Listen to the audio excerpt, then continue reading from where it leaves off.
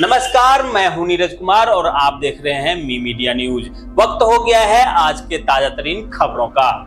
दिल्ली की एनआईए अदालत ने भारत के खिलाफ युद्ध छेड़ने की आपराधिक साजिश में शामिल होने और प्रतिबंधित आतंकी संगठन का सदस्य होने से संबंधित मामले में इंडियन मुजाहिद के चार आतंकियों को दोषी करार दिया है, जिसे आज सजा सुनाई जाएगी।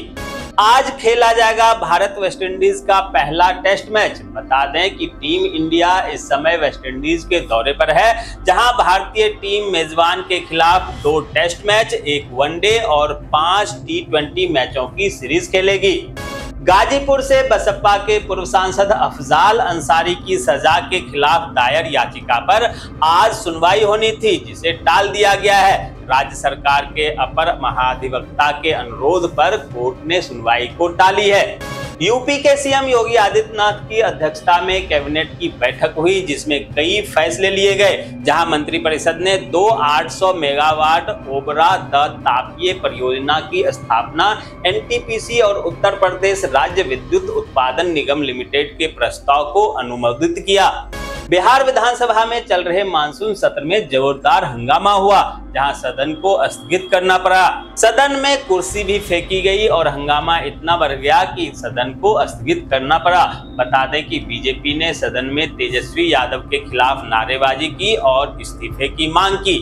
दिल्ली की शराब नीति घोटाला मामले में गिरफ़्तार दिनेश अरोरा को रॉज एवेन्यू कोर्ट में पेश किया गया, जहाँ कोर्ट ने ईडी की दलील सुनने के बाद अरोरा को छह दिन की ईडी हिरासत बढ़ा दी।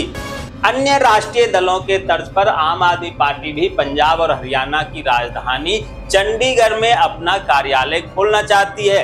इसके लिए पार्टी संगठन ने पंजाब के राज्यपाल कम चंडीगढ़ के प्रशासक बनबारी लाल पुरोहित से जगह मांगा है। लेकिन आम आदमी पार्टी का आरोप है कि राज्यपाल उनके आवेदन पर गौर नहीं फरमा रहे हैं। दोस्तों, आगे बढ़ने से पहले आप सभी से रिक्वेस्ट है कि अगर आपने अभी तक इस न्यूज़ को लाइक और कमेंट नहीं किया है तो प्लीज़ लाइक और कमेंट कर दीजिए, क्योंकि कब से मैं आपके लाइक और कमेंट का इंतज़ार कर रहा हूँ, और जैसे ही आपका लाइक आएगा, हम खुश हो जाएँगे। और जैसा कि आप सभी को पता है कि कमेंट करने वाले लोगों के नाम इस न्यूज़ के लास्ट में बताते हैं, इसलिए इस न्यूज़ को लास्ट तक ज़रूर देखिए। इसरो ने चंद्रयान थ्री का किया लॉन्च रिहर्सल 14 जुलाई को श्रीहरिकोटा से किया जाएगा प्रक्षेपण। आज हो सकता है मोदी सरकार के मंत्रिमंडल का विस्तार, जहाँ केंद्रीय मंत्री पीयूष गोयल, निर्मला सीतारमन प्रहलाद पटेल, मनसुख मंडाविया, अर्जुन सिंह मेघवाल, भूपेंद्र यादव, गजेंद्र सिंह शेखावत, किरण रिजिजू, कृष्ण रेड्डी, नरेंद्र सिंह तोमर समेत एसपी सिंह बघेल सहित कई प्रमुख मंत्रियों को संगठन में दी जा सकती है बड़ी ज़िम्मेदारी। कांग्रेस पार्टी द्वारा प्रस्तावित राहुल गांधी के समर्थन में आज का देशव्यापी मौन सत्याग्रह स्थगित कर दिया गया है। इसे अब 15 जुलाई को किया जाएगा, जिसको लेकर कांग्रेस पार्टी द्वारा खास तैयारी की गई है।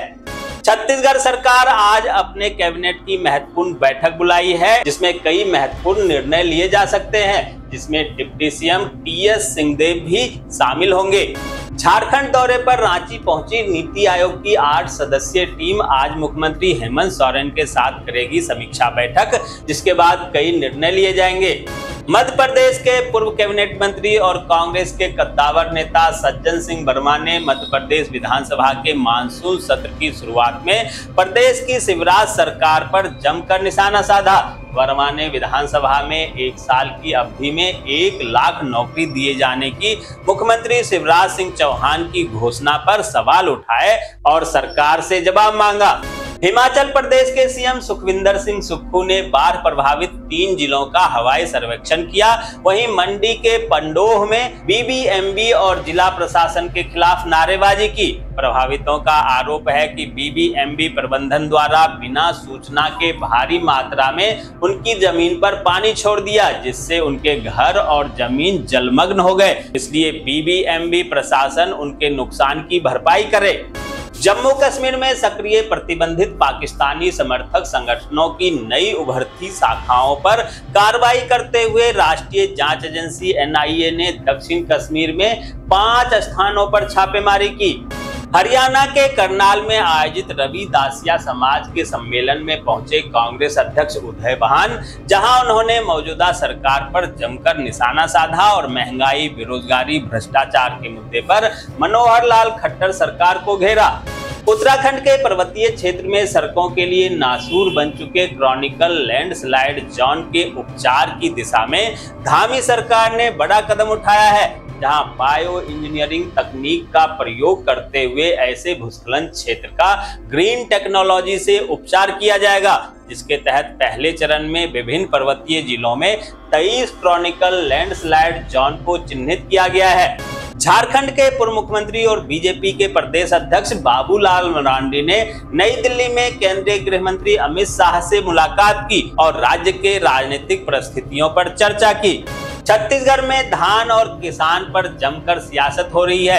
एक और जहाँ कांग्रेस और बीजेपी किसानों को अपने पक्ष में करने में लगी है, वहीं आम आदमी पार्टी के प्रदेश अध्यक्ष कोमल हुपेंडी ने कहा कि धान के कटोरे के रूप में प्रसिद्ध छत्तीसगढ़ राज्य में किसान परेशान हैं, जहाँ कांग्रेस और बीजेपी दोनों को ही चुनाव के समय ही किसान याद आती है। बीजेपी ने पश्चिम बंगाल से अनंत महाराज को राज्यसभा चुनाव के लिए उम्मीदवार बनाया। जहाँ अनंत महाराज ग्रेटर कूच बिहार आंदोलन के प्रमुख रहे हैं। बता दें कि 10 राज्यसभा सीटों के लिए 24 जुलाई को मतदान होना है। महाराष्ट्र के डिप्टी सीएम देवेंद्र फडणवीस ने शिवसेना उद्धव गुट के प्रमुख पर पलटवार किया।